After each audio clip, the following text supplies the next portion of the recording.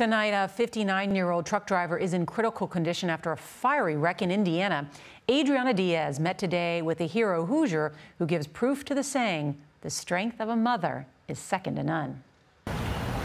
When Holly McNally saw the wall of flames, she ran toward it.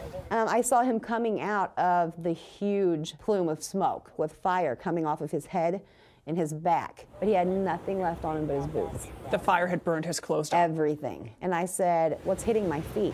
And he said, Jet fuel. And at that point, I said, Oh my gosh, you guys, we have got to hustle because this fire is going to follow us. What made you run toward danger? I mean, everybody else was staying back. A maternal instinct.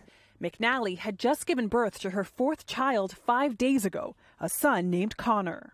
Trooper Chris Hansen arrived as McNally and two other Good Samaritans were dragging the driver away just before a second explosion. Three selfless people took enough initiative to say this, not today, not, not on our watch. What are you going to tell your baby boy when he grows up? That mommy was tough that day, and he was my driving force to save a life plus get back to him. Tell him mommy was a hero. Like I said, that's what I'll tell him myself. Like I said, Aww. to be proud proud because she risked her life to save a stranger. Adriana Diaz, CBS News, Indianapolis.